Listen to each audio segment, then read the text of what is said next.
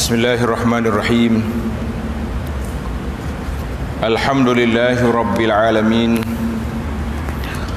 الحمد لله الذي أرسل رسوله بالهدى ودين الحق ليظهره على الدين كله وكفى بالله شهيدا أشهد أن لا إله إلا الله وحده لا شريك له واشهد ان سيدنا ونبينا محمدا عبده ورسوله اللهم صل وسلم وبارك على عبدك ورسولك محمد وعلى اله وصحبه ومن سار على نهجه واهتدى بهديه واستنى بسنته الى يوم الدين اما بعد yang dihormati Al-Fadil pengacara majlis pengurusi yang ahli kuasa imam-imam Masjid Al-Muktafi Billah Shah Ladang.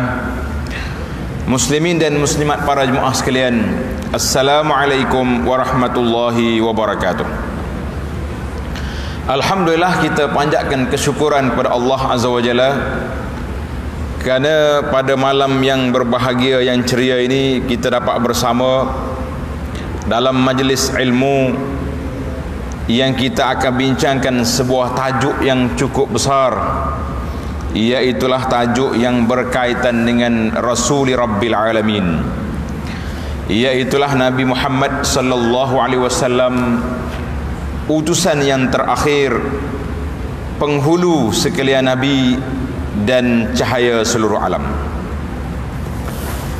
Tajuk yang besar ini boleh kita kembangkan secara detail dan juga boleh kita bincangkan secara ringkas. Yang penting bagi kita para jemaah sekalian kita dapat memahami, mengenali kedudukan Nabi kita Muhammad sallallahu alaihi wasallam sebagaimana yang telah disebut oleh Nabi sallallahu alaihi wasallam dalam sebuah hadis yang diriwayat oleh Imam Ahmad Nabi pada satu hari kata di seorang sahabat nama dia Jabir bin Abdullah kalau boleh malam ni tolong tanda deh. Nama-nama tokoh-tokoh yang hebat-hebat ni tanda. Dan cerita-cerita yang menarik ini boleh kita uh, apa ni ingat. Dan boleh disebarkan kepada keluarga kita nanti insya-Allah. Kata Jabir aqbalna ma'a Rasulillah sallallahu alaihi wasallam. Kami berjalan sekali dengan Nabi sehingga sampai ke kebun Bani Najjar di Madinah. Fa idza fihi jamalun la yadkhulul ha'ita ahadun illa shadda ali. Tiba-tiba orang bagi tahu kepada Nabi sallallahu alaihi wasallam dalam kebun ni ada seekor unta mengamuk. Siapa dia masuk kena sepak dia. Ha, unta kadang-kadang marah juga dia. Fa zakaru zalika lin Nabi sallallahu alaihi wasallam. Sahabat kata, "Ya Rasulullah, bahaya tu. Ada unta mak unta backing. Fa'atahu fada'a. Tengok dalam hadis ini cukup menarik tuan-tuan. Fa'atahu fada'a. Nabi pergi di kebun tu dia panggil unta tu. Ta'al mari sini. Faja'a wadi'an misfarhu ilal ard. masya-Allah kan unta ni tekak dia panjang panjang Unta tu mari siapa dekat Nabi tunduk kepala. Siapa dekat bumi. Mana hok backing tadi tu, duduk ngangor kau orang tu jatuh kepala. Maka Nabi sallallahu alaihi wasallam minta dengan tuan dia tali. Hat khutamahu, mari tali aku nak ikat. Kemudian unta itu diserahlah kepada tuan dia. Panjanglah ada riwayat-riwayat lain yang menyebut bahawa unta yang mengamuk tadi dia berbisik kepada Nabi sallallahu alaihi wasallam. Dia bagi tahu kepada Nabi, dia kata ya Rasulullah, kasratul kulaf wa qillatul ulaf. Banyak kerja makan tak cukup. Ha, demonstrasi juga unta. Maknanya suruh kerja kuat tapi makan tak beri, unta mengamuk. Dalam riwayat ini dalam riwayat uh, Ahmad yang kita baca ini falsummal tafata ila nas. Setelah nabi kita panggil tuan dia ikat unta ha pegang ambil. Nabi sallallahu bagi tahu nabi kata ma bainas sama'i wal ard. Tidak ada makhluk di antara langit dengan bumi ahadun illa ya'lamu anni rasulullah.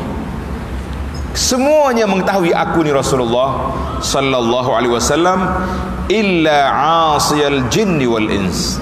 Kecuali penderhaka dari kalangan jin dan manusia. Kita kata na'udzubillah lah.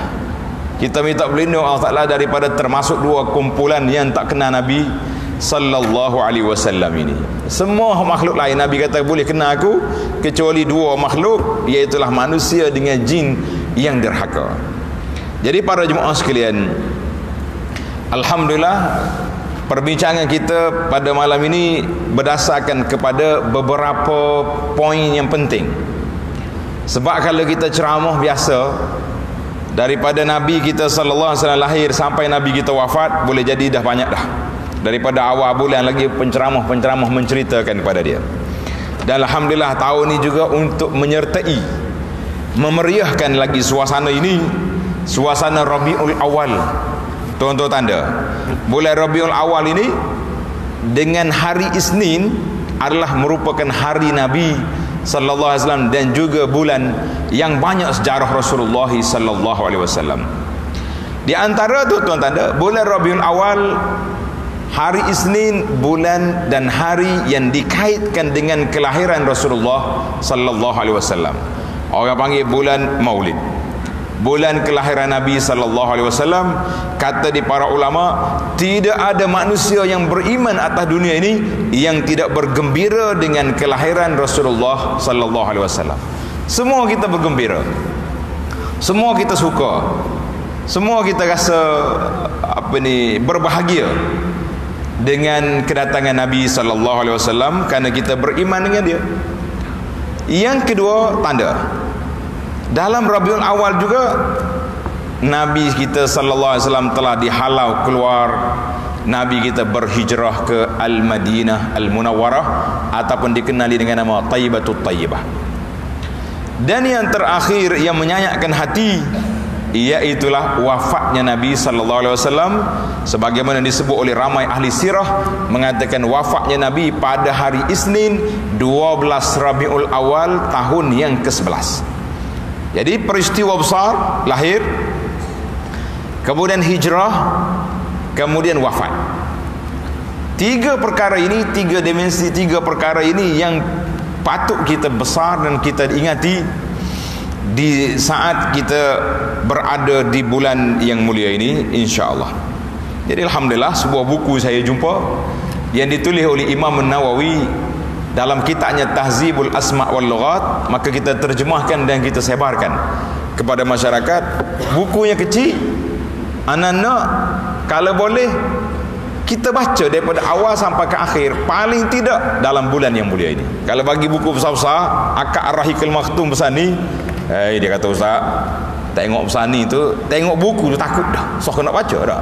Jadi kita bagi hak kecil ni eh, kalau takut juga hak ni berat dah ni nah, itu yang panggil luar biasa dah kita tu itu sudah dikira luar luar biasa sebab apa luar biasa benda kecil pun tak boleh nak, nak, nak baca lagi kita kata berat baiklah para jemaah sekalian muslimin dan muslimat apabila kita lihat tentang kelahiran Nabi sallallahu alaihi wasallam dan dikaitkan dengan Nabi Adam alaihissalam. Nabi yang pertama sekali siapa dia? Adam. Terkenal dengan nama Adam ini Abul Bashar, maknanya bapa segala manusia mari daripada Adam. Kecuali ada juga makhluk-makhluk yang tak apa betul. Dia kata manusia ni bukan daripada Adam, mari daripada monyet. Siapa dia kata mari orang ni mari daripada monyet? Eh? Tak kenal. Nama apa? Darwin. Kalau tuan-tuan jumpa dengan Darwin tanya lah. Bukan aku monyet mu ya kata ya dia. Ha. kita tak mengaku kita monyet, kita mengaku kita ni mak bashar. Kita mari daripada manusia daripada Adam alaihissalam. Jadi orang tanya kenapa Nabi Adam itu keluar daripada syurga? Untuk apa dia mari ke bumi? Jawabnya dalam hadis yang sahih tuan-tuan dengar ni. Ini dia panggil kisah gaib kisah gaib dari Nabi sallallahu alaihi wasallam Nabi kata apa hadis ini riwayat oleh Imam Muslim daripada Abu Hurairah ihtajja Adamu wa Musa Allah Taala kumpulkan Nabi Adam dengan Nabi Musa. Dua orang nabi bertemu. Dan dia berhujah di mana inda rabbihima di hadapan Allah Azza wa Jalla. Fahajja Adamu Musa. Adam mengalahkan hujah Nabi Musa. Musa kata apa? Hei Adam. Antal ladzi khalaqakallah. Tuanlah yang Allah Taala ciptakan. Allah Taala manusia yang pertama diciptakan. Kemudian Allah perintahkan malaikat sujud hormat kepada kamu. Allah Taala letakmu dalam syurga. Kemudian kamu turun daripada syurga ke muka bumi bi khati'atika dengan sebab dosamu. Ha. Apa Adam jawab? Itu hujah Nabi Musa. Mu ni Adam buat dosa duduk dalam syurga molek-molek dah buat dosa turun ke bumi. Kata di Adam, "Eh Musa, anta Musa? Mu ni Musa? Allazi istafaka Allahu bi risalatihi wa bi kalamihi." Yang Allah Taala pilihmu menjadi rasul dan Allah Taala bercakap berkata-kata denganmu sehingga Musa ni terkenal dengan nama Kalimullah makna nabi yang banyak berkata-kata dengan Allah Allah Taala beri kepada kamu lauh Taurah ha? dan fa bikum wajadta Allah katabat Taurah membaca dalam kitab Taurat yang Allah Subhanahu Wa Taala tulis dalam kitab Taurat ini bahawa selesainya segala tulisan segala perkara yang akan berlaku ni bila sebelum aku diciptakan berapa lama? Musa kata bi arba'ina aman. 40 tahun. Allah Taala sudah tulis dalam kitab Taurat 40 tahun sebelum Adam diciptakan bahawa Adam akan berada di bumi.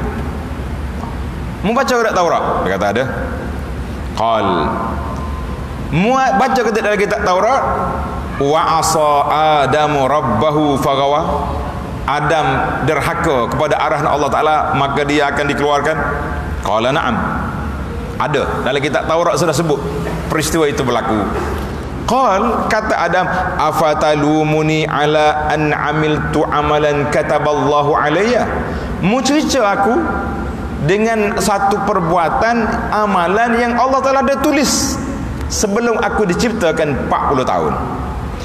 Maka kata Nabi sallallahu alaihi wasallam fahajja adamu Musa.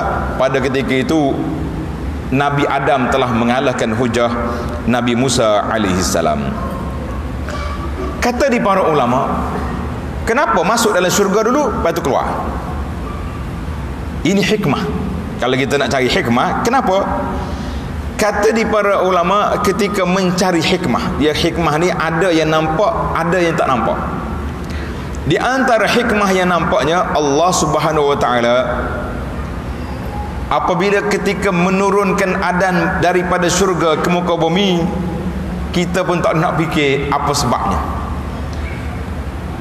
Daripada tempat duduk yang nikmat tidak ada susah, tak ada sakit, tak ada apa-apa tiba-tiba turun ke muka dunia ini yang banyak bala bencana, banyak kesusahan dan banyak macam-macam. Jawabnya aja yang pertama sekali Allah nak suruh nampak. Eh Adam turun ke dunia untuk mengambil bekalan. Ini kan? Turun ke dunia untuk mengambil bekalan sebab apa? Sebab mu tengok dah syurga tu apa yang ada di dalamnya Tengok dalam syurga apa yang ada. Maka setiap malam kita baca. Saya tengok di atas raha tu ada surah. Surah Al-Mulk. Tiap-tiap malam kita baca. Nah. Dan alhamdulillah setakat ni banyak dah masjid-masjid yang photostat surah Al-Mulk. Anda rasa kita kena ada limit juga photostat ni. Sebulan, dua bulan, tiga bulan. Cukup. Eh, Surah Al-Mulk ni 30 ayat ya ada. Kalau kita hafal satu ayat satu hari, 30 hari, khatamlah hafal. Takkan nak gantung dengan photostat sentiasa daripada awal saya sekarang sampai kita akhir umur dah. 30 ayat tu kita boleh baca. Yang saya nak sebutnya Allah Taala sebut Allazi khalaqal mauta wal hayata liyabluwakum ayyukum ahsanu amala Allah Taala jadikan kita ni mati kamu dia hidup kamu dia mati kamu dia hidup tengok tartib ayat. Hidup mati kita ni mula dengan hidup ke mati? Ha? Hidup mati dulu betul tak? Sekarang ni lah ni. Hidup lepas pada ni mati. Kamu ni lepas pada tu hidup balik. Itu dia panggil tartib perjalanan hidup manusia. Tak ada tu kira mati. Mak kita lahirkan kita hidup malaikat mau ambil nyawa mati balik. Hari kiamat esok dibangkitkan semula la la mauta ba'dahu. Yang tidak ada mati. Itu tertib Quran. Dia panggil tadabbur Quran. Kemudian Allah kata apa? Liyabluwakum ayyukum ahsanu amala. Allah nak uji kita Allah nak tengok kita. Maka dikatakan ad-dunya darul ibtila dunia ini tempat Allah nak uji. Maka hikmahnya Allah SWT beri kepada Nabi Adam masuk syurga dulu. Kemudian dia tengok semua dalam syurga dia turun. Ketika itulah menjadi cita-cita Nabi Adam untuk kembali ke syurga insya-Allah taala. Kalau kita pergi haji tuan-tuan sampai di Mina Mina ingat tak? Tempat kita berkhemah di Mina dan kita melontar sebab apa dinamakan Mina? Ha, itu ulama sejarah sebut. Di antara sebabnya dia kata nama Mina tu sebab orang banyak menumpahkan darah di sana. Nama dia Mina. Ada lagi sebab yang mengatakan ketika Nabi Adam sampai di di Mina malaikat bawa dia tunjuk mana si kanan tempat kerja haji. Sampai di situ malaikat tanya ya Adam ma tamannaita apa cita-cita kamu qal kata Adam tamannaitul jannah cita-cita aku nak balik semula ke syurga jadi kita bila pergi ke Mina kita kena ingat di sini tempat Nabi Adam bercita-cita nak balik semula ke syurga. Kita juga bila berada di tempat itu mesti bercita-cita besar untuk kita sampai ke syurga yang dijanjikan oleh Allah Azza wa Jalla. Itu yang pertama kita lihat dari sudut hikmah Kenapa Nabi Adam itu turun ke bumi? Artinya telah ditetapkan oleh Allah Azza wa Jalla. Adam duduk beberapa ketika Kemudian turun ke bumi Dan balik semula ke syurga InsyaAllah. Para jemaah sekalian Simbol lagi soalan. Kenapa Rasulullah sallallahu alaihi wasallam itu dipilih dilantik menjadi sayyidul anbiya wal mursalin? Menjadi penghulu bagi segala nabi-nabi dan juga orang mengatakan afdalul khalq sebaik-baik manusia. Kata di para pengkaji ini telah disebut oleh Nabi sallallahu alaihi wasallam satu hari Nabi kita sedang makan makan pohon kambing. Nabi ni dia suka makan kaki kambing hak depan. Itu hak kegemaran dia. Kalau nak bagi kambing bagi hak tu. Nahsa nahsan. Dia gigit makan Nabi kita berhenti. Nabi kata ya ayuhan nas ana sayyidu waladi adam yaumal qiyamati wala fakhra. Eh manusia aku ni penghulu bagi anak Adam wala fakhra bukan nak cakap sombong. Wa awwalu man yanshaqqu anhu al-qabru orang yang pertama keluar dari kubur wa awwalu syafi'in wa awwalu musyaffa' orang yang pertama boleh memberi pertolongan kepada manusia pada hari kiamat. Maka para ulama mengatakan Nabi sallallahu alaihi wasallam memperkenalkan diri dia. Ana sayyidu waladi adam.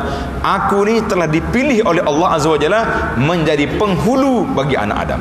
Menjadi penghulu bagi anak adam dan wala fakhra aku bukan nak cakap sombong ini Nabi kita ajar kepada kita sallallahu alaihi wasallam tuan-tuan dan puan-puan ambillah kesempatan yang besar ini. Setiap kali sebut nama Nabi selawat. Sebab kita nak ambil peluang. Kita berselawat sebanyak mungkin dalam satu majlis ini insya-Allah kata di para ulama Nabi kita sallallahu alaihi wasallam memperkenalkan diri dia. Ana sayyidu waladi adam. Dalam riwayat kata ana sayyidun nas. Aku ni penghulu bagi manusia pada hari kiamat. Ada kalanya jawatan-jawatan yang ada itu perlu diperkenalkan. Nabi walaupun sebut macam itu tuan-tuan kena ingat ada di kalangan makhluk Allah Taala pada akhir ini tidak memperakui kedudukan Nabi sallallahu alaihi wasallam. Dia baca ayat Quran Suratul Kahfi qul innama ana basyarum mislukum. Sesungguhnya aku ni manusia seperti kamu.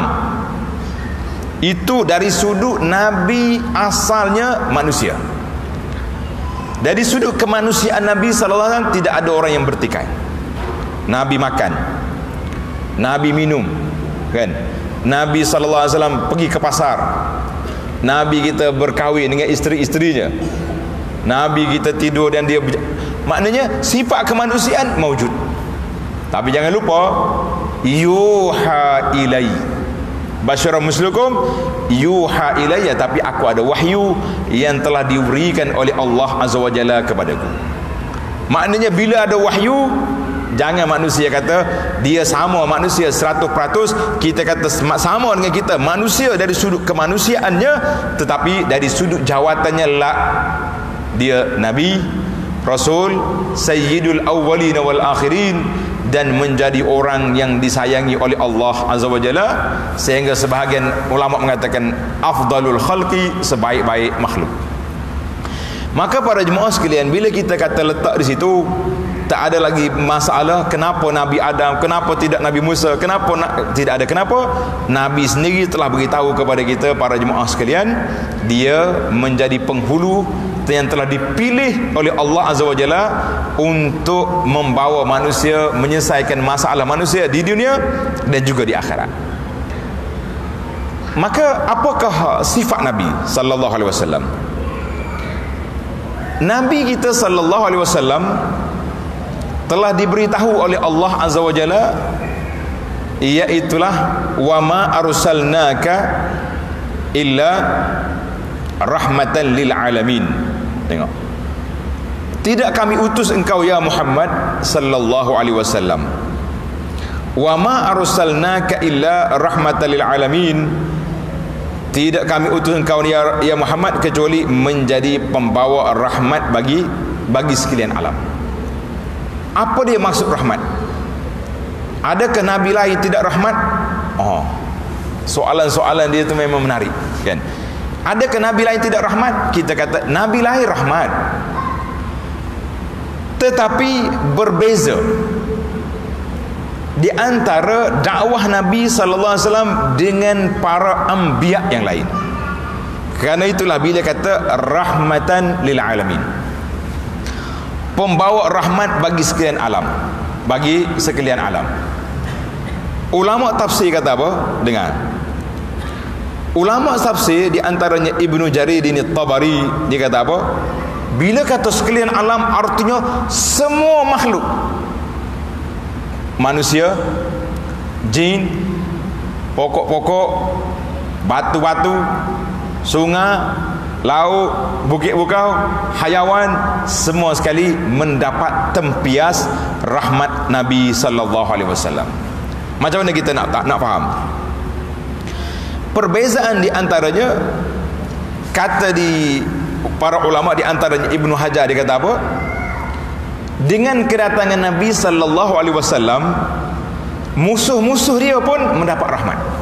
Eh pelik ni musuh mendapat rahmat ni kan? Ha, Nabi dulu kita buat banding dengan yang simple saja. Nabi dulu bila apa ni kaum dia menderhakai tak lebih daripada tiga hari akan datang bala. Api turun bakar. Halilintar panuh mereka.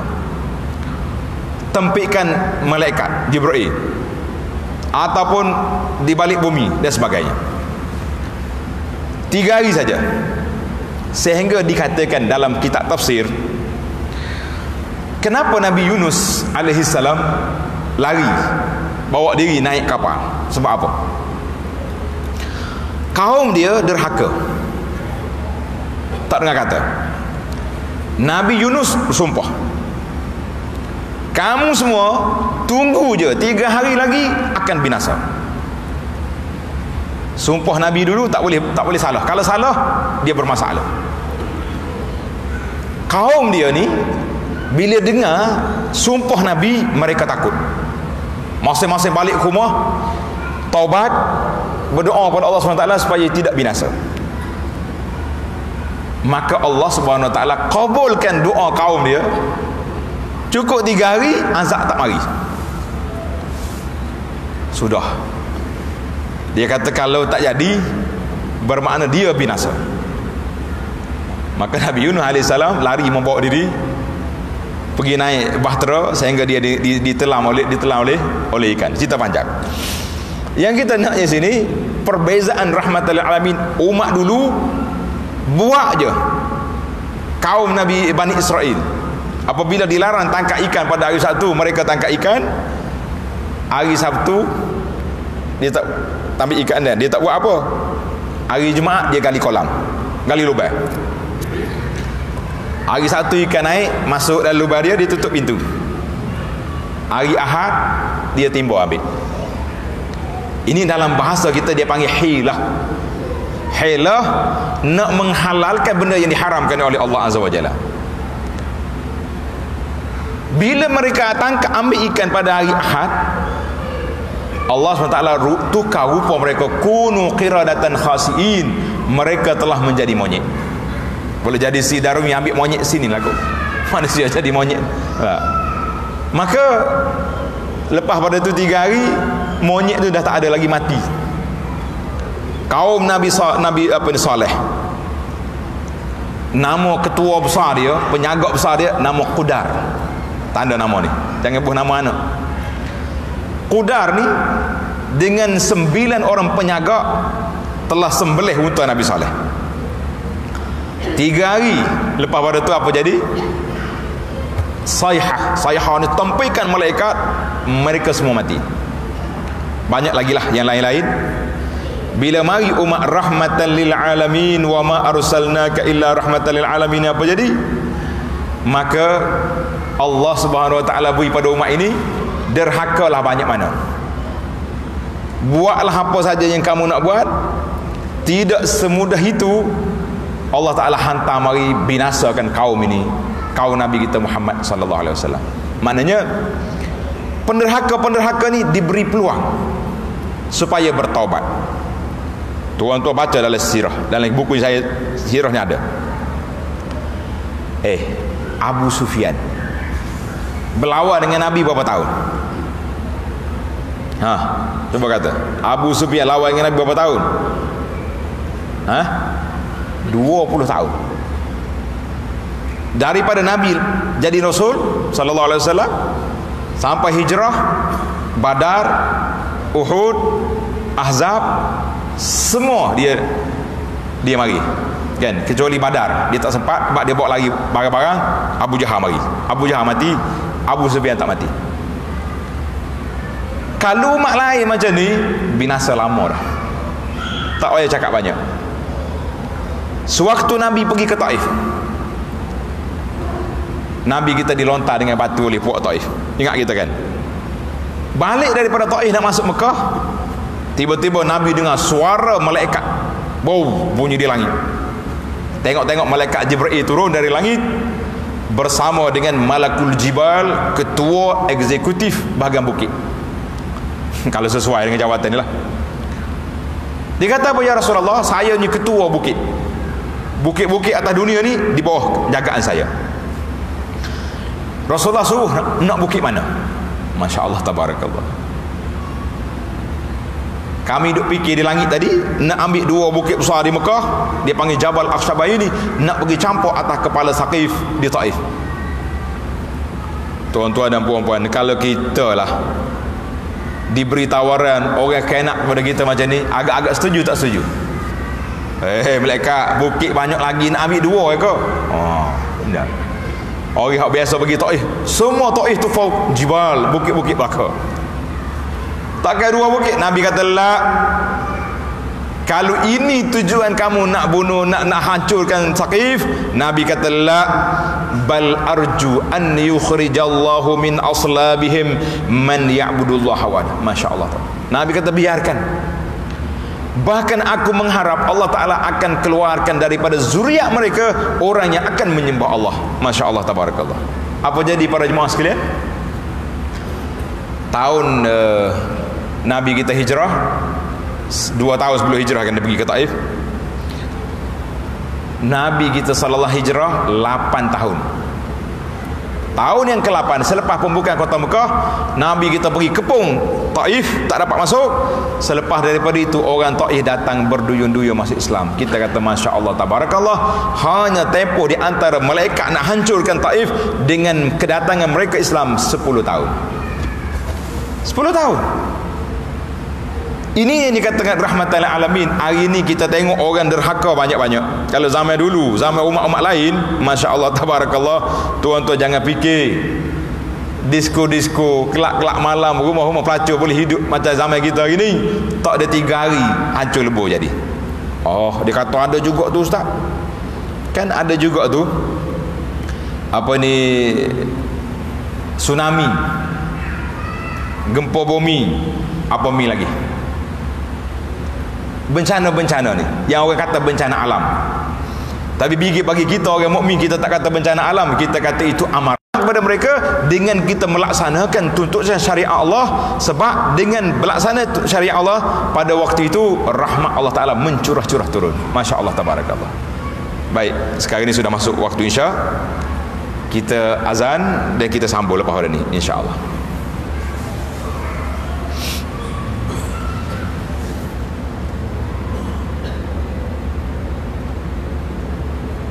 Allah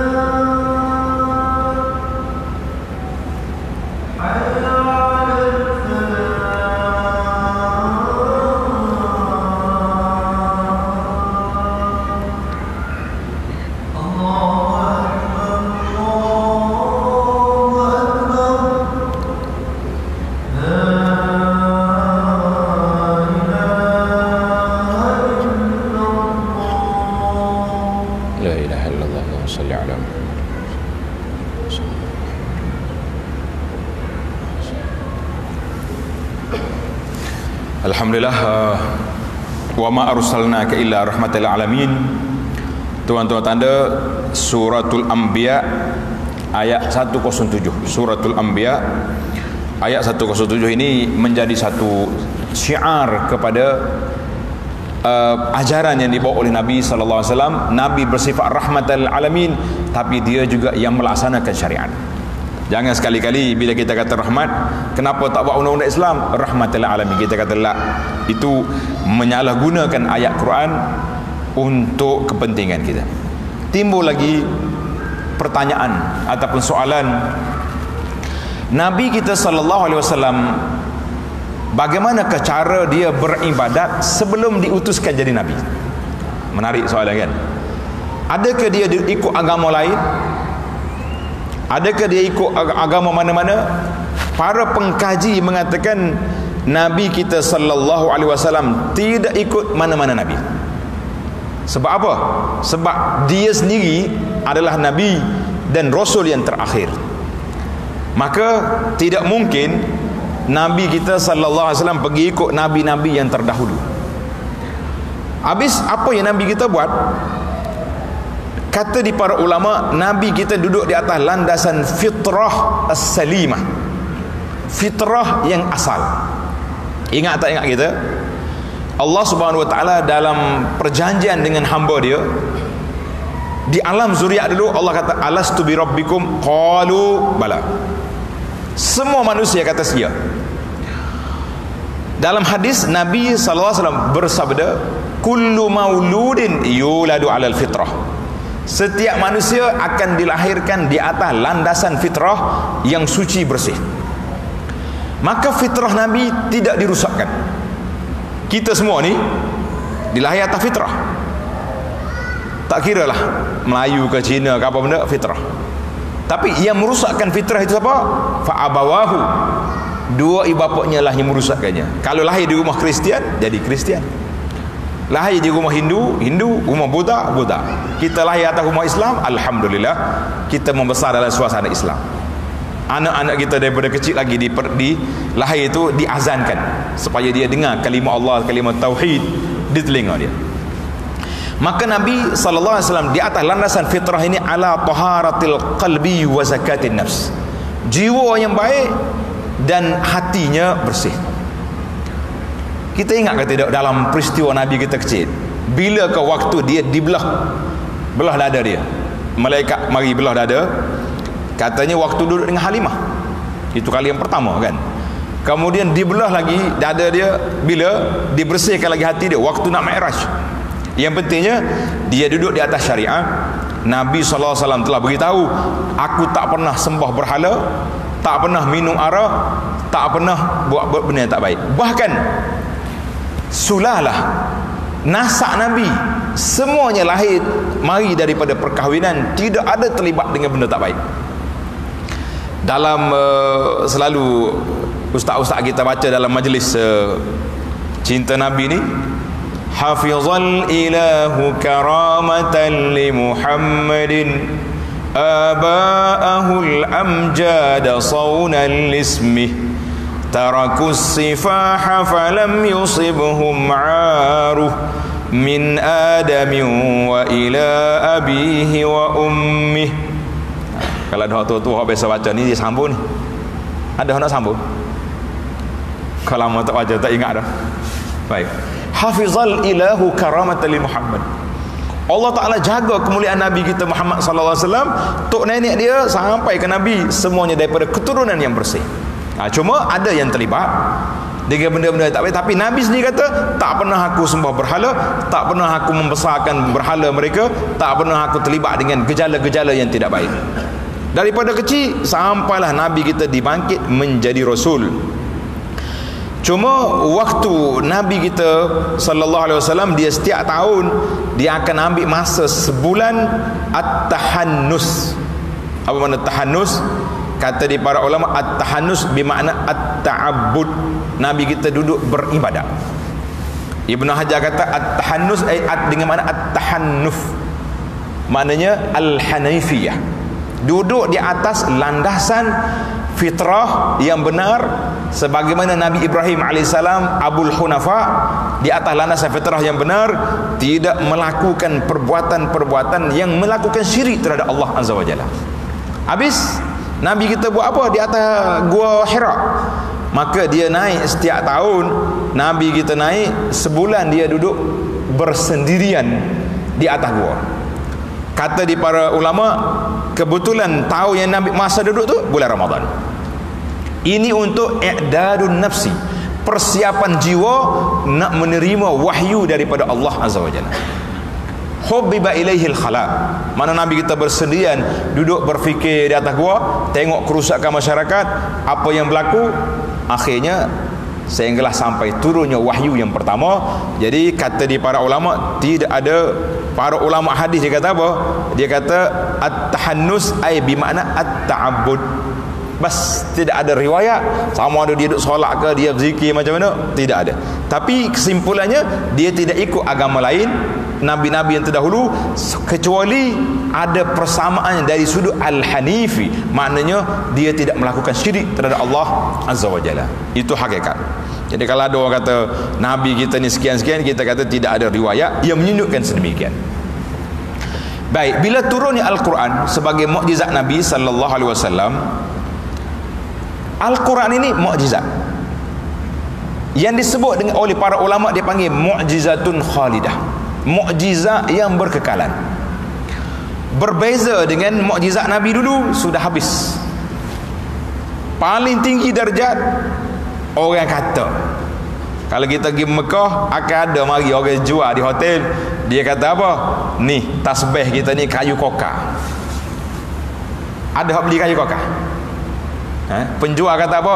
Inilah tongkat Nabi Musa. Oh, kita beli selalu. Bunyi tongkat Nabi Musa. Moga orang nak kuat ni kena Nabi Musa dah. Kita kata semua tu cerita tak tahu mari mana.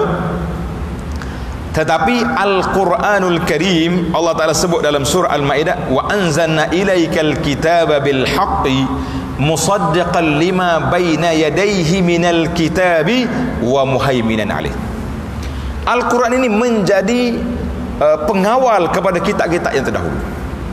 Kalau ada orang mari baca kita Taurat, mari baca Injil, tapi syirik pada Allah kita kata nolak. No, itu kitab muharraf, kitab yang telah diselewengkan, yang telah dipesongkan. Tapi Al-Quran tak ada siapa berani untuk menyelewengkan Al-Quran. Tak ada siapa boleh buat. Kalau ada orang nak buat, tak mungkin dia boleh buat. Kalau dia buat juga, tak sampai lima hari. Hmm, dia kata Quran ni cetak ropok. Quran ni ada kesalahan. Kalau di Malaysia ni ada KDN kan, pengawal Al-Quran. Semua pasal-pasal di kedai-kedai buku kena tarik balik.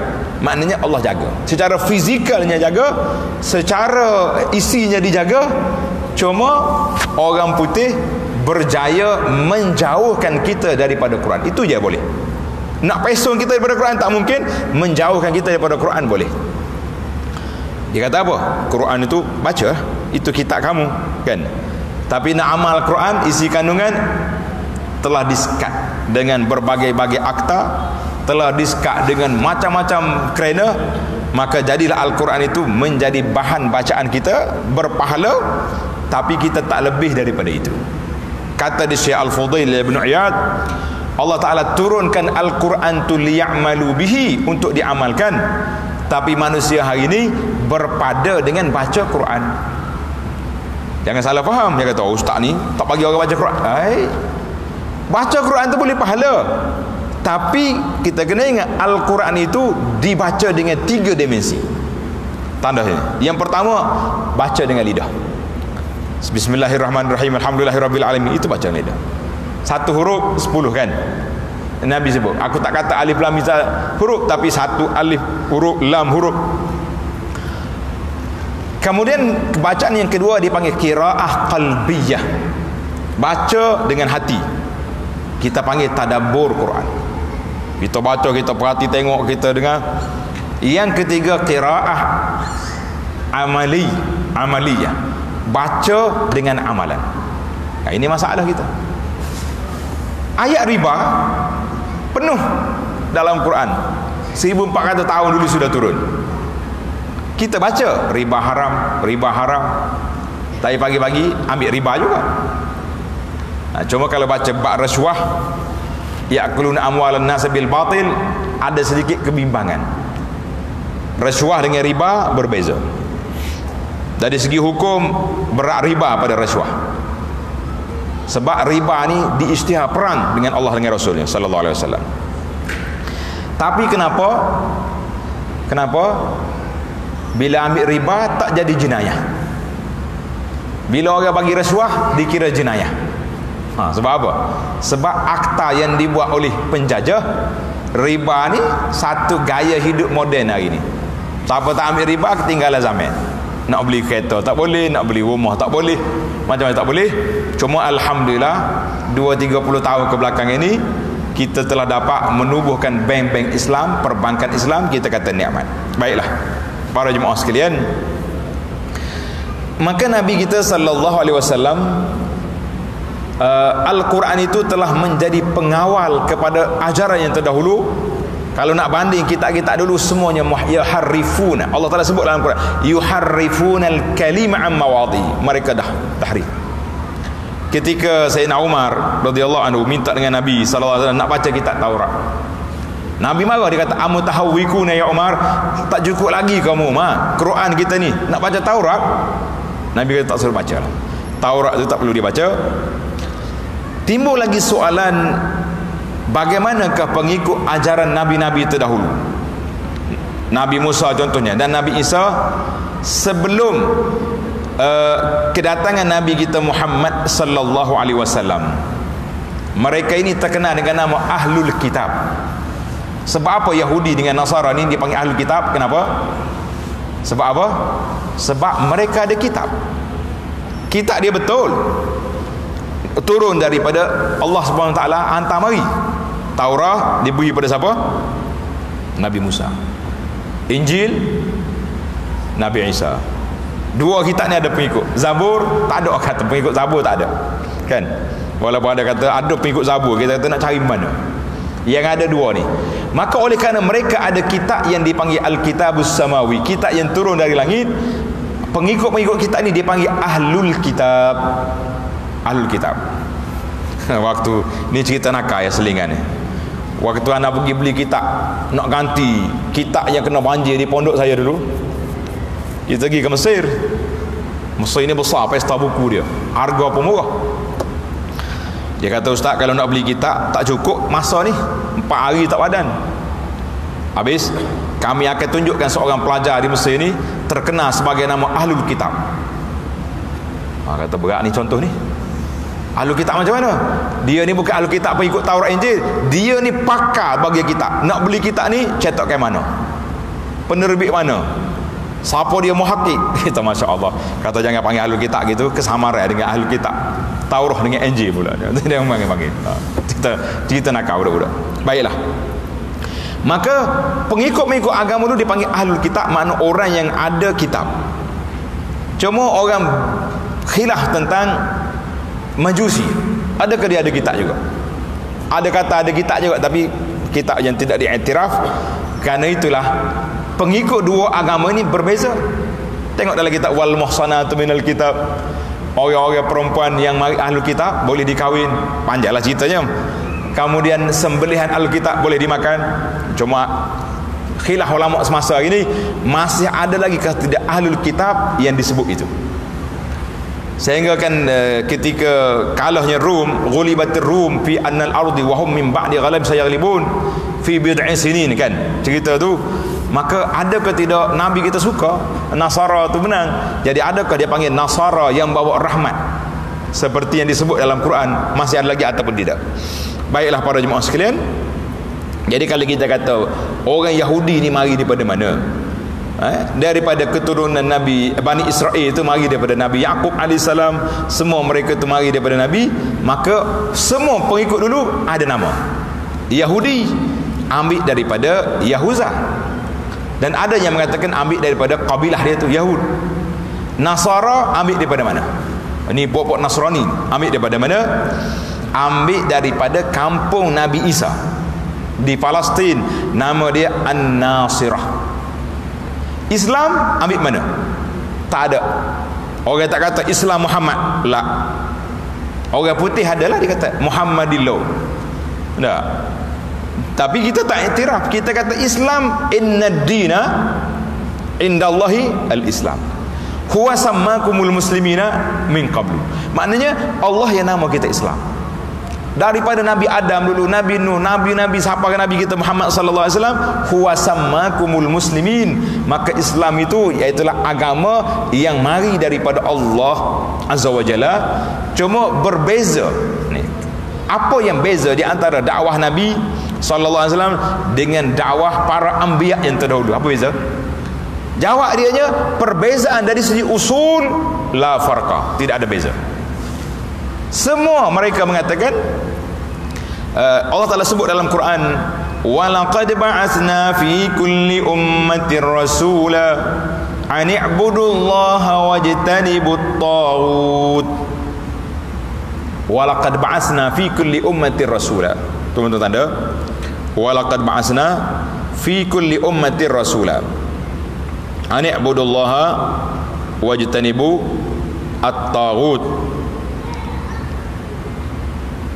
Jadi Allah kata walaqad ba'atsna fi kulli ummatin rasula. Tanda. Suratu an-nahli ayat 36 suratul nahli ayat 36 kami telah bangkit bagi setiap umat seorang rasul. Dan berbezanya rasul dulu dengan rasul Muhammad sallallahu alaihi wasallam ni rasul dulu bu'isa ila qaumihi khassah. Setiap rasul dihantar kepada kaumnya saja. Nabi Musa pergi ke Bani Israel. Nabi ni kepada kaum dia. Nabi Saleh pergi kepada. Wa ila samud akhahum salihah. Wa ila apa ni? Jadi setiap orang itu ada nabi tapi Nabi sampai kata wa bu'istu ila nasi kafah aku dibangkitkan oleh Allah Taala kepada manusia seluruhnya. Tak ada beza. Asalkan dia manusia dan jin jin sekali. Cerita jin ni panjang, saya rasa saya tak, tak sebut banyak banyak benda lagi yang kita nak sebut kan. Jin dia tak ada nabi. Nabi dia nabi kita Muhammad sallallahu alaihi wasallam. Waktu ana mengajar risalah risalah rukun iman. Kalau tuan-tuan jumpa risalah ni menarik. Risalah rukun iman tajuk dia beriman dengan malaikat. Dalam cerita ni buku ni buku yang ditulis oleh tuan guru kita tuan guru Haji Abdul Hadi. Hafizahullah ta'ala.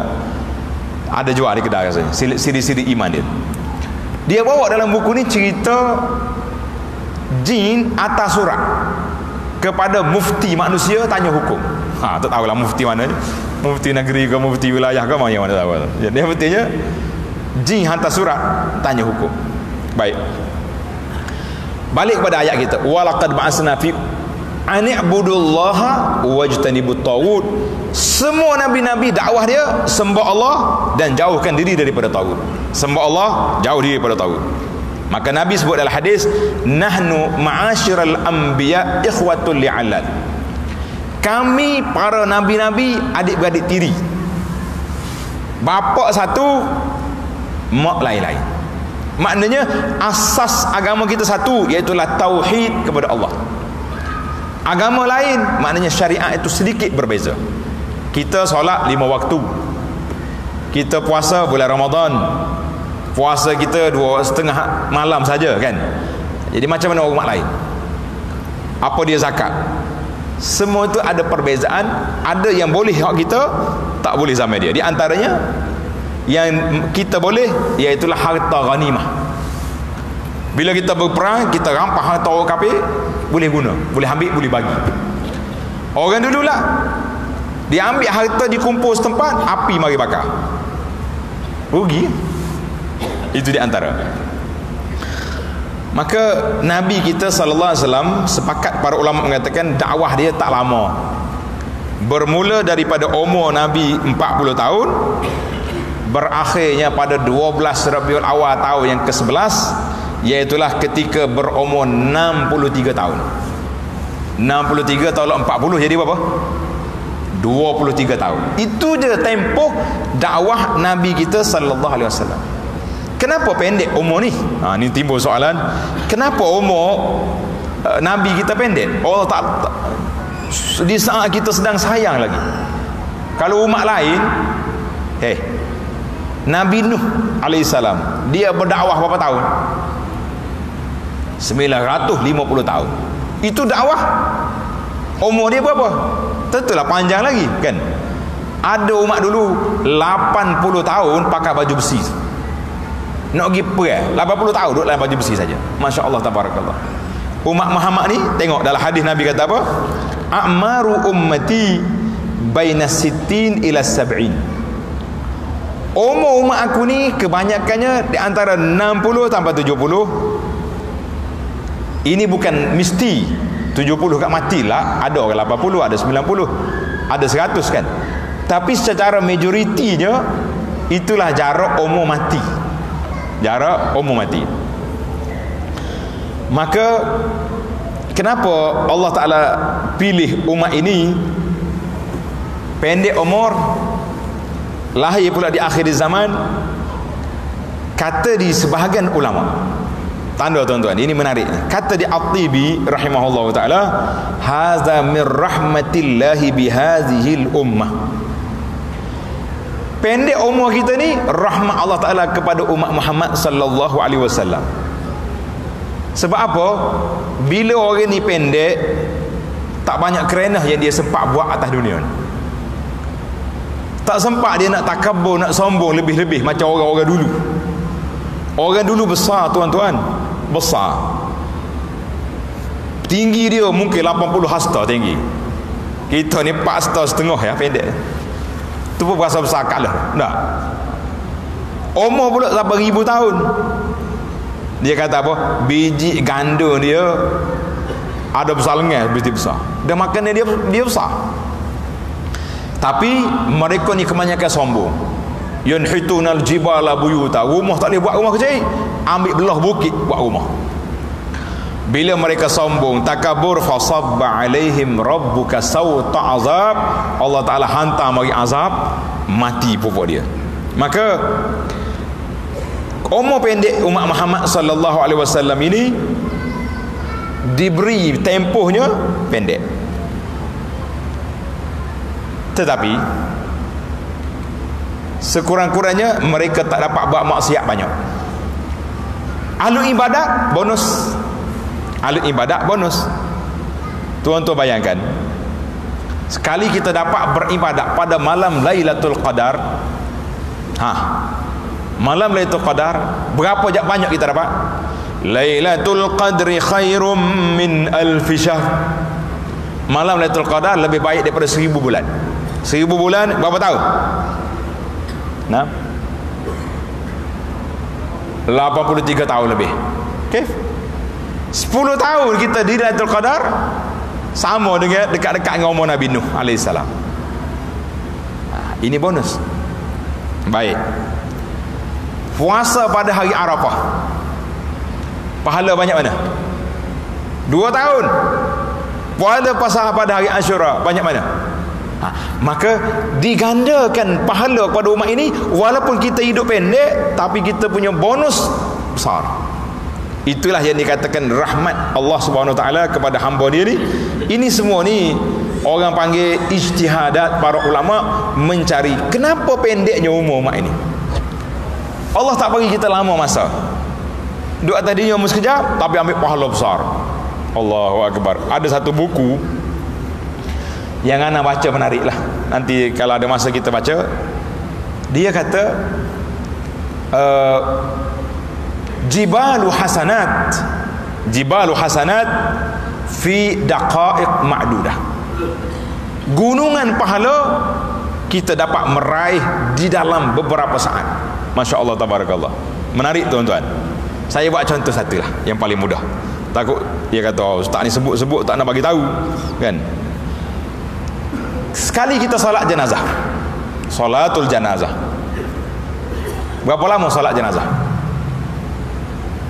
takbir fatihah. Takbir selawat. Takbir doa kepada orang mati. Takbir doa terakhir salam. Habis. 3 minit. Hok-hok imam baca panjang lepas solat itu di luar di luar solat itu itu yang menjadi apa ni acara lain. Nabi sebut dalam hadis yang sahih, siapa dia solat jenazah falahu qirat bagi dia pahala sebesar gunung Uhud. Saya ukur Bukit Uhud ni melalui kitab-kitab sejarah, dia kata panjang dia Bukit Uhud 6 km. Tinggi dia daripada bumi 450 meter. Dan ada yang lebar dia sampai 3 km. Bayangkan besarnya bukit Uhud kita hanya dapat 3 minit subhanallah siapa dia ikut jenazah ke kubur falahu qiratan dua bukit Satu bukit untuk solat, satu bukit ke kubur. Masya Allah tabarakallah. Tuan-tuan baca. Cerita-cerita ni Ammar umati. Umur pendek. Nabi kata, "Nahnul akhiruna sabiquna yaumal qiyamah." Kita ini umat yang terakhir keluar ke dunia tapi terawal keluar pada akhir akhirat. Masya-Allah tabaraka. Tadi adalah dia berkata, "Wa an awwalu man tanshaqqu anru Aku manusia yang pertama keluar dari bumi. Masya-Allah tabarakallah. Panjang cerita lagi lagi panjang lagi seronok tak baiklah uh, itu di antara beberapa perbezaan antara ajaran Nabi kita sallallahu alaihi wasallam dengan ajaran Nabi dulu. Tadi lah di antaranya Nabi kita ni rahmat alamin diutuskan kepada semua manusia tak kira orang putih tak orang putih. Nabi kita penamak segala rasul Nabi kita sallallahu alaihi wasallam menjadi pengaman kepada para sahabat. Allah kata apa? Tengok dalam tanda dalam Al-Quran Tuhan kata, "Wa ma kana Allahu liyu'azzibahum wa anta fihim." Wa ma kana Allahu mu'azzibahum wa hum yastaghfirun. Allah Taala tidak azab umat ini sedang Nabi bersama mereka. Allah Taala tidak azab umat ini sedang mereka beristighfar pernah satu malam satu masa berlakunya gerhana. Bila berlaku gerhana Nabi tengok macam nak nak binasa umat ini. Ketika itulah Nabi berdoa Ya Rabbi alam ta'idni bukankah engkau berjanji denganku engkau tidak akan binasakan umat aku ini selagi aku ada bersama mereka? Nabi menangis sallallahu alaihi wasallam. Maka Nabi dulu umat dia dibinasa depan Nabi sallallahu alaihi wasallam Lut Jibril mari. Lut keluar malam ni dengan kaum siapa dia duduk sini? Hancur. Masya Allah Nabi Lut keluar pagi esok balik bumi. Nabi lain lah mana-mana Nabi saja. Fir'aun mati depan mata Nabi Musa AS tapi tidak ada umat Muhammad sallallahu alaihi wasallam ini mati seluruhnya di hadapan Nabi sallallahu alaihi wasallam. Inilah perbezaan yang besar. Allahu akbar. Kita kata Rasulullah sallallahu alaihi wasallam itu rahmatul alamin. Jadi waktu Nabi kita hidup, kata di para ulama, Allah kata ketika Nabi kita ada, Allah Taala tak akan binasa umat ini. Wa ma kana Allahu mu'azzibahum wa hum yastaghfirun. Allah Ta'ala tika azab umat ini sedang mereka beristighfar. Para ulama mengatakan wahai para jamaah Nabi sudah wafat yang ada depan kita hanyalah istighfar. Jadi kena banyak istighfar. Nak tunggu Nabi mari selamat tak ada lagi. Kalau ada lagi pahaman-pahaman yang mengatakan Nabi keluar daripada kubur mari sini. Ah, itu pahaman yang tak betul. Ah, ada sekarang ni. Tengok dalam video sekumpulan saya tak nak sebut nama negeri lah jadi masalah dia kata dia pergi Madinah Nabi tak ada kubur. Nabi ke mana orang tanya? Syekh, Nabi ke mana? Nabi pergi ke tempat dia. Allah Allah. Baiklah, itu di antara perbezaan Nabi. Banyak lagi lah kan. Uh, tuan-tuan nak baca cerita ni kelebihan Nabi ada sebuah buku yang saya terjemahkan nama dia 41 kelebihan Nabi ha, cari kedai buku 41 kelebihan Nabi sallallahu alaihi wasallam mengatasi para anbiya yang lain. 41 kelebihan. Itu yang sahih. Yang campur-campur ada lagi nama sebuah buku nama dia uh, Azamatun Nabi sallallahu alaihi wasallam. Dia bawa dalam buku ni 200 kelebihan. Kita kata bercampur. Baiklah. Kita terus pergi kepada perbincangan yang seterusnya. Sangat menarik kan? Mengapa puak-puak ahlul kitab Bani Israel tak mau terima dakwah Nabi. Adakah mereka tak tahu? Puak Yahudi dengan Nasara ni Adakah mereka tak tahu Nabi akhir zaman Ataupun ada sebab lain? Tanda tuan-tuan. Kalau saya baca cerita ni Sangat-sangat menarik. Ulama Bani Israel Semuanya tahu. Sudah termaktub Dalam kitab Taurah Dan juga Nasara Dalam kitab Injil Sifat-sifat Nabi Sallallahu Alaihi Wasallam. Saya buat contoh lah untuk tuan-tuan tahu. Seorang sahabat bernama Abdullah bin Salam. Ha, tanda cerita ni menarik. Cerita ni dalam sahih dia ni dah baca dalam kitab Taurat Nabi akhir zaman akan lahir akan dibangkit oleh Allah Ta'ala di bumi yang banyak pokok tamar maka dia datang ke Madinah. Madinah banyak pokok tamar dan tanah dia bumi dia hitam. Dia tunggu di akhir zaman. Bila dia dengar Nabi datang ke Madinah Abdullah bin Salam pergi. Dia nak tengok nak tahu betul ke tidak. Dia pergi. Dia kata ya Muhammad sallallahu alaihi wasallam inni sa'iluka an salasin saya nak tanya tuan tiga perkara. La ya'lamuhunna illa nabi. Orang jawab tak ada siapa boleh jawab soalan aku ni kecuali nabi. Tanda cerita menarik ni. Soalan yang pertama. Ma awalu asyratis sa'ah? Apa kepermulaan tanda kiamat? Tahu. Wa ma awalu ta'amin ya'kulu ahlul jannah? Awal-awal permulaan makanan ahli syurga. Apa dia soalan yang ketiga ni menarik ni. Dengar baik. Kenapa anak tu berbeza? Sekali ikut mak sekali ikut ayah. Aha malam ni buka rahsia kita. Kan? Oh, buka rahsia ni. Dia kata tak ada. Kalau boleh jawab ni betul Nabi. Masya Allah Tabarakallah. Nabi berkata khabbarani bihinna anifan Jibril. Alhamdulillah. Lepas mu tanya tadi Jibril datang beritahu kepada aku jawapan Alhamdulillah kata apa? Ya Rasulullah. Haza adu lil Yahud. Yahudi tak suka dengan Jibril. Dia kata Jibril ini perusak makhluk.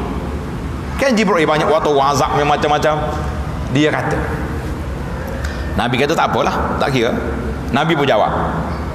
Nak dengar ke jawapan? Eh? Kau cukup cakap tu dulu. Ha, jawapan menarik jawapan yang pertama permulaan alamat kiamat yang besar itu narun tahsyurun nas api keluar daripada masyrik daripada timur dia akan halau manusia ni ke barat ilal maghrib.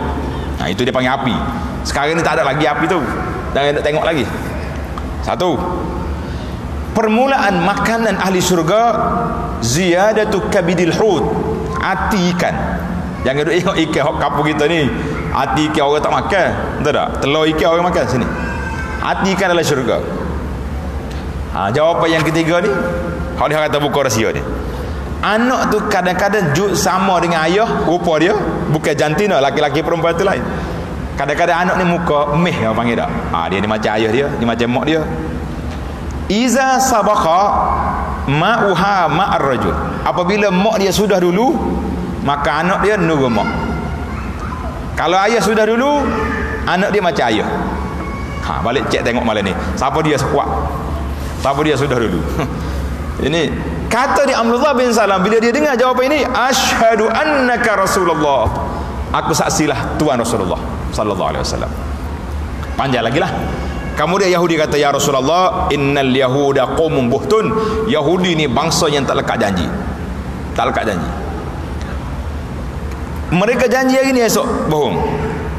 Jadi kalau Nabi nak tahu Rasulullah panggil Yahudi ketua Yahudi mari sini saya nak sembunyi di belakang tabir.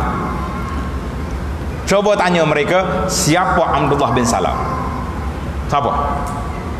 Nabi panggil. Eh Ya masyarakat Yahud. Man Abdullah bin Salam fikum? Siapa dia Abdullah bin Salam? Nabi buat tak kenal? Oh dia kata apa? A'lamuna wabnu a'lamina. Orang yang paling alim di kalangan kami Anak tok guru kami. Oh sudah. Orang yang paling baik Anak keturunan apa baik Dia puji puji puji Nabi tanya dia Apa pandangan kamu kalau Abdullah bin Salam tok guru hamba puji itu masuk Islam ikut aku. Oi dia kata tak mungkin. A'azahullah. Tak mungkin. Bila dia mari tak mungkin, Abdullah bin Salam keluar. Ya ma'syaral yahud, asyhadu an la ilaha illallah wa asyhadu anna muhammadar rasulullah. Bila Nabi sebut lagu tu, Yahudi saat ni bangun selalu. Dia kata ya Muhammad syarruna wa ibnu syarrina. Inilah orang paling jahat di kalangan kami. Oh. Masya Allah tabarakallah dia boleh tukar yutan 36 darjah 36 darjah apa tak balik kuat ni orang paling jahat ni. Nabi kata Allah SWT kata tengok Yahudi maknanya dia bukan tak tahu dia tahu waktu Nabi sampai di Madinah dengan ni satu cerita terakhir cerita Yahudi ni isteri Nabi nama dia Sofiyah Safiyah binti Huyai bin Akhtab. Anak kepada Huyai bin Akhtab ketua Yahudi Bani Quraidah Bani ini Khaybar.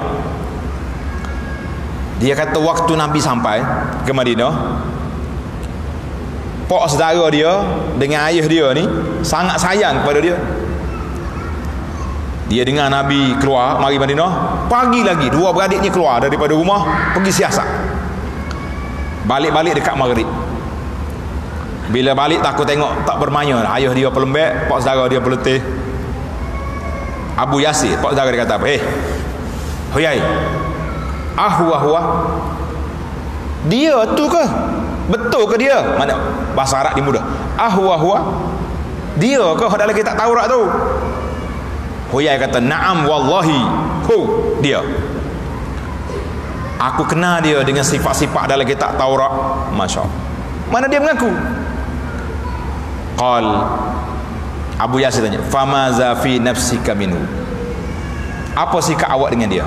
Kita mengaku dah dia betul Dialah orang yang kita tunggu-tunggu. Apa sikap kamu? Jawab dia huyai Ada watuhu wallahi imbak itu Aku akan lawan dia selagi aku hidup. Subhanallah. Inilah sikap Yahudi. Jangan duk percayalah dengan Yahudi. Panjang lagi cerita Yahudi ni. Jadi para jemaah sekalian uh, Timbul lagi kenapa di akhir zaman berlakunya perpecahan di kalangan masyarakat. Nah di awal Islam ini timbulnya kumpul, dua kumpulan iaitu satu kumpulan nama dia penyokong Sayyidina Ali disebut dengan nama Syiah. Satu lagi penentang Sayyidina Ali nama dia Khawarij ataupun Nawasib. Kita kata mereka ini di dipelopor oleh seorang yang bernama Abdullah bin Sabah al-Yahudi yang pura-pura masuk Islam dia ni lah yang jadi batu api. Dia tengok orang puja Ali dia suruh. Orang yang lawan Ali masuk kumpulan ni. Jadi timbul dua kumpulan. Satu khawarij satu lagi syiah. Jadi syiah ni ah, sampai hari ni pun tak selesai lagi masalah syiah ni para jemaah sekalian. Iaitulah syiah ni mazhab dia nya atau agama dia memuja Sayyidina Ali dan juga Sayyidina Al-Husain Kan anak saya Ali dua yang masyhur Al Hasan dengan Husain. Hak dia anaknya Sayyidina Husain. Hasan tak? Tengok dalam YouTube hari Asyura Husain panggil. Eh, panggil betul tu ya Husain. Oh, menangis ya Husain. Dia tak panggil Ali pun tak panggil. Ni orang atas mari video waktu dia kena bunuh. Pokok Syiah ni di Syria, di Iraq. Kena bom, dia panggil Husain, tak panggil Allah. Kita mengatakan Pasal itulah ada usaha-usaha cuba nak takrib. Awak nak takrib? Nak mendekatkan di antara syiah dengan sunni Kita kata tak mungkin. Seorang pendakwah masyur dalam dunia ni Nama dia Syekh Yusuf Al-Qardawi Dia ni di antara orang yang cuba nak dekatkan syiah dengan sunni. Nak suruh baik lah Dia kata moga balas pun tak hijau Tak habis-habis. Tak di zaman Sayyidina Ali Siapa-siapa lah ni? Dia kata sekarang ni aku tarik balik dah. Tak ada faedah bertakrib dengan puak dia. Dia kata hei puak Yahud puak, puak Syiah aku nak minta dengan kamu satu je. Kalau betul-betul mu ikhlas nak takrib dengan ahli sunnah berhenti cuca sahabat. Jawab dia ulama ahli sunnah kalau Syiah tak cuca sahabat bukan Syiah adalah dia. Nah, jadi hari ni kumpulan-kumpulan Syiah ni nampaknya mendongak kepala naik. Berani buat majlis besar-besaran. Tapi Alhamdulillah pejabat agama di negeri-negeri bertindak secara tegas tangkap beberapa kumpulan dia tapi ramai lagi yang bebas. Penulis-penulis bebas dalam blog dalam internet macam-macam cakap kita mengatakan ini satu gerakan yang cukup berbahaya. Itulah di antaranya yang sempat kita bincang-bincang. Cuma mungkin ada soalan. Banyak saya sebab kita pun tak nak lama ni. Takut dia kata letih dah ustaz tunggu ni insya tak semaya lagi ni. Ya. insyaAllah ada beberapa soalan di sini ustaz. Fadal. yang pertamanya soalan daripada Jumaat uh, betul ke najis yang keluar daripada badan Nabi? Sallallahu seperti kencing dan tadi itu boleh diminum dan dijadikan ubat adalah cerita zaman dulu zaman zaman sahabat tu kan? Dia ambil darahnya dia ambil benda tu. Kita kata benda tu benda qadiyatu ain pada masa tu. Pada zaman Nabi sallallahu alaihi wasallam itu. Dan uh, benda tu tak sampai melarat zaman kita hari ni. Ni sekarang ni ada lagi orang duk bawa mari ni. Duk bawa darah bekam Nabi lah. Ambil mana benda-benda lagi tu nah ada setengah tu rambut Nabi bawa mari. Jadi kita bimbang Nabi kita ni Allah SWT suruh kita ikut ajaran dia. Ikut sunnah dia. Kita pula banyak duk sibuk duk cari ke barang-barang hak Nabi. Maka kata orang kita duk sibuk mencintai barang Nabi kita terlupa kepada ajaran Nabi. Jadi yang besarnya kita tumpu pada ajaran Nabi sallallahu alaihi wasallam sebab itulah ulama-ulama semasa ini ramai yang menulis tentang dia panggil fiqh sirah kita belajar sirah tak tengok fiqh sirah tu apa yang berlaku ha, jadi barang-barang Nabi itu kalau ada sungguh Hak zaman dulu tu para sahabat ambil berkat dengan dia. Tidak jadi masalah. Zaman dia, zaman tu. Tapi zaman sekarang sekarang ni ada ke tidak lagi. Oh dia kata ada baju Nabi duduk di Turki. Selatu ya. Hak lain-lain tu, hak kelon belaka tu. Orang buat-buat kelon pakai mari tayar situ kita pakai pergi gosok. Tapak kaki Nabi ada lima jenis orang mari duk gosok. Kita kata tak salah. Benda yang pelik-pelik itu jangan duk cari. Yang kita kena carinya apa yang ditinggal oleh Nabi SAW dalam ajaran. Itu yang sepatutnya. Wallahu a'lam. Naam. Fadal.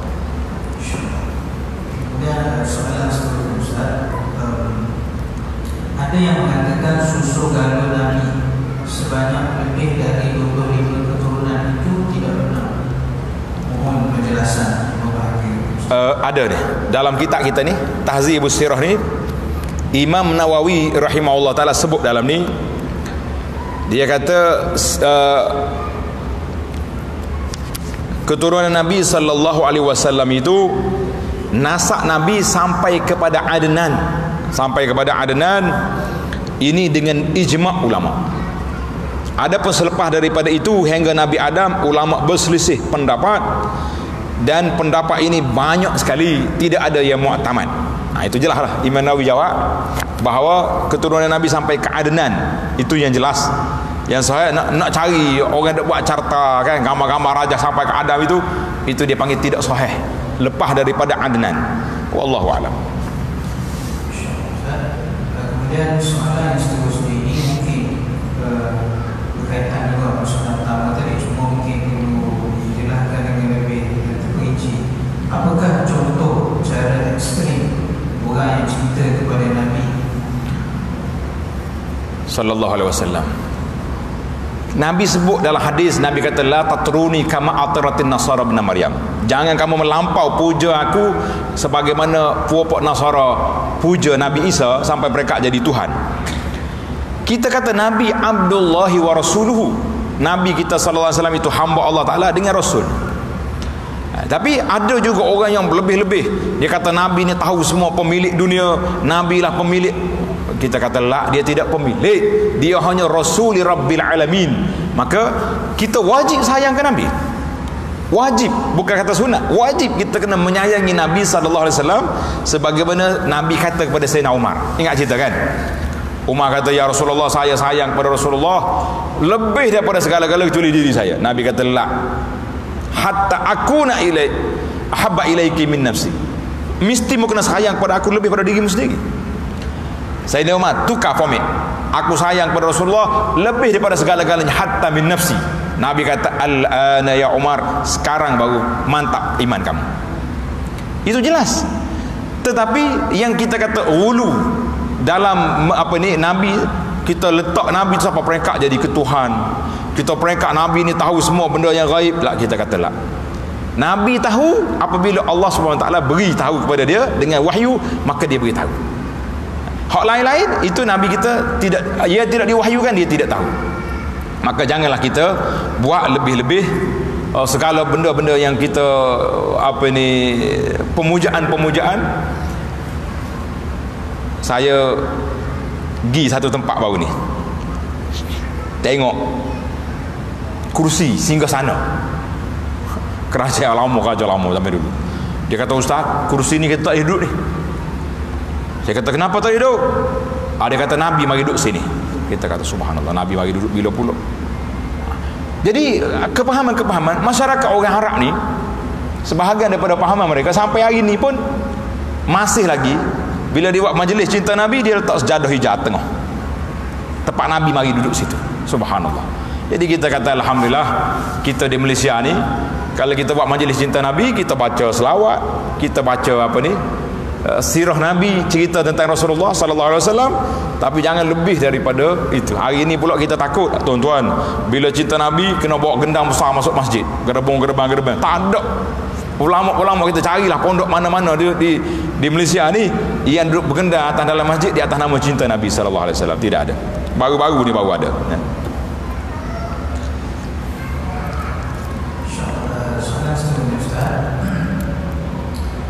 Ramai pelajar kita di luar negara makan daging sembelihan Yahudi yang dikatakan halal kerana disembelih oleh ahli kitab. Betul ke Yahudi ahli kitab atau macam mana? Saya kata wallahu alam. Ini masalah ada pendakwah yang mengatakan sedemikian. Dia kata kalau kita pergi makan lagi orang putih, mereka tu ahlul kitab. Kita kata betul ke mereka tu masih lagi ahlul kitab ataupun popok Yahudi yang ada hari ini, popok Nasara yang ada hari ini sudah sembah berhala, sembah salib dah. Cuma ada satu tengok, anda tengok satu kumpulan ada dalam video, tak ingatlah nama kumpulan dia ni. Dia panggil Yahudi Piau. Di kampung dia ni masih lagi elektrik tak guna. Makanan-makanan dia sangat terjaga. Kalau mula jadi Yahudi tu kalau ada, wallahu alam. Jadi hari ni kita kena rujuk pada majlis fatwa lah. Eh, tanya pejabat mufti. Ada lagi ke tidak ahli kitab yang boleh dimakan sembelihan dia. Tapi kalau orang-orang di negara barat dia kata ada. Boleh lagi makan. Baru ni saya pergi melawat negara Jepun, kata nak mana restoran orang Islam? Dia kata kalau nak cari logo halal saja tak makan dah kita. Habis macam nak makan? Masuk kedai sushi, sushi tu semuanya barang-barang di laut belaka bagi ikan, soto, ikan macam. Jadi apa kita sibuk dia kata? Kata bahan dia tu ha, kita kena baca tengok. Gitu ya bawa dia tu mudah-mudah. Wallahu alam. Nah. Ustaz, soalan Bagaimana dalam zaman sekarang ini kita nak menapis kisah-kisah berkenaan dengan Nabi SAW Ada yang sahih, ada yang tidak sahih Saya kata alhamdulillah. Dulu kita baca satu versi ya. Ana ingat waktu ana masih lagi budak-budak dulu sekolah menengah. Yang kita duk baca kitab sirah Nabi ni kan Atmam Itmamul Wafa kan. Nurul Yaqin, Nurul Yaqin. Itu je ada kitab sirah. Kitab-kitab Ibnu Hisham besar ada. Kemudian bila mari kemudian ni alhamdulillah di antara yang awal yang masyhurnya kitab Ar-Rahiqil Makhtum yang disusun oleh Syekh Safiyur Rahman Mubarak Puri. Orang India dia. Kitab ini telah dimasuk pertandingan menulis sirah Nabi dan yang berapa pertama. Itu pun masih lagi ada orang kritik beberapa tempat. Dan sekarang ni pula mari salah seorang daripada Syekh di Madinah nama dia Dr. Akram. Dia Al-Umari. Dia tulis muhawalah. Muhawalah memilih riwayat-riwayat yang sahih dalam sirah. Ha, kemudian yang kemudian ni banyaklah Alhamdulillah. As-sirah an-nabawiyah as-sahihah sudah ada. Jadi kita cubalah baca. Yang masalah kitanya kita tak baca kita dengar. Hak kita dengar dulu tu hak tu yang kita duk bawa dalam ceramah. Langsung tak ada murajaah. Itu bahaya. Hari ni kalau kita kata saya baca hadis ni au kamakal nak lepaskan diri kita. Saya tak tanggungjawab. Kita kata aukam kita kata jangan. Macam-macam aplikasi dalam telefon kita ni sudah ada. Maktabah syamilah ada. Yang terbaru yang saya duk sebar ni satu satu program yang menarik tuan-tuan. Nama dia Al-Bahithul Hadisi. Kalau ada ustaz-ustaz ni tulis Al-Bahith Al-Hadisi. Tekan dekat dekat dia punya handphone kita tu Play Store dia akan keluar. Al-Bahithul Hadisi kita tak dalam telefon kita ni kita teringat hadis apa kita nak baca. Tengah sambil-sambil duduk ceramah gini mudah ya cari. Tekan dia akan keluar. Sekali dengan riwayat-riwayat dan juga hukum hadis. Imam Nawawi kata sahih. Al-Iraqi kata sahih. Al-Manawi kata sahih. As-Sakhawi kemudian ulama semasa. Al-Arnawud contohnya orang ni orang ni kata, semua ada. Jadi kalau kita kata alasan saya baca hadis tak tahu la kabahis ad-da'i la yang bagi tidak sepatutnya kita lupa kita tak tahu benda ni. Kadang-kadang saya bimbang kita baca apa yang kita dengar. Kita kata apa yang kita dapat ni. Orang duk sebar ni. Dalam mazhab wasafi ni. Oh mazhab wasafi ni dia panggil mazhab yang tak terkawal. Kan? Setiap kali mari awal bulan ada selalu. Mana-mana orang yang beritahu kedatangan bulan ni bebas dia daripada neraka oh kita apa power habis segala geruk yang kita ada ha. pada petang hari Khamis Ruh-ruh akan menunggu di kubur. Itulah waktu yang paling baik kita pergi melawat. Hadis riwayat Bukhari. Kita cari dalam Bukhari letih pagi sampai gelap tak jumpa. Rupa-rupanya bukan sahih Bukhari. Bukhari pocik kapu dia. Ha, ini bahaya. Jadi pendakwah perlu teliti. Khutbah yang kita nak sampai, tazkirah kita nak sampai. Alhamdulillah hari ini Masya Allah Tabarakallah buku-buku sirah Nabi yang sahih sudah ada. Jadi kita beli baca. Yang pelik-pelik jangan cari. Tapi dia kata tak sedap ustaz yang pelik ni Ana sekali forum dengan seorang pendakwah yang hebat dia naik-naik boleh mikrofon dia baca lalu sabda Nabi sallallahu alaihi wasallam anna suniyam uh, wa iza matu intabahu Nabi kata manusia itu tidur bila mati baru sedar. Saya tekan dalam hadis ni tak siapa apa ni setengah minit memang buka hadis. Saya pohon ke dia Ustaz tengok ni. Kenapa yang tak tengok dulu sebelum nak sebelum nak nak cakap? Oi dia bagi tahu ke penerbit berhenti-berhenti kita kak balik. Benda yang macam ni pun tak ada persiapan tak ada persediaan. Maka kita kata banyak cerita-cerita yang pelik-pelik yang berlaku jadi oh dia kata cuma tuan-tuan kena beza sikit ulama-ulama agak longgar syarat-syarat di dalam sirah tidak seketat mereka nak ambil riwayat dalam hadis itu berbeza nah banyak lagi kah? kalau banyak kita nak jawab pendek eh? eh? Ha. Alhamdulillah uh, soalan yang insyaAllah Ustaz bagaimanakah cara kita nak berhadapan dengan golongan yang mengatakan tidak menolak Nabi sebagai Rasul tetapi hanya mahu menggunakan Al-Quran sahaja sebagai sumber orang ni kita panggil dia tanya. Awak tak terima dia dia panggil anti hadis kan? Geng-geng anti hadis tak mau kamu terima apa? Terima Quran. Baik senang ya tanya dia. Awak nak solat lagu mana?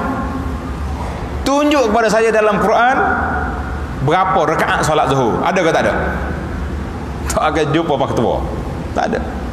Maknanya sunnah Nabi itu menjadi peranan kepada menhuraikan apa yang tidak disebut dalam Quran. Itu peranan sunnah. Sebab itulah ulama mengatakan tafsir Quran yang paling baik sekali Quran tafsir Quran. Itu yang terbaik. Yang kedua sunnah menafsirkan Quran. Itu yang terbaik. Nah, kemudian tafsir para sahabat para ulama tabi'in ulama-ulama tafsir sampailah zaman kita ini pun masih lagi duduk menafsirkan Quran tapi jangan keluar daripada nas-nas yang telah disebut oleh para ulama salafus soleh kecuali benda-benda yang berkait dengan benda baru. Sains teknologi itu baru boleh. Jadi kalau kita orang anti hadis ni kalau betul-betul dia pegang Quran dia wajib kena pegang hadis. Sebab Allah kata wa ma atakumur rasulu fakhuzuh mana hak nabi bawa mau ambil.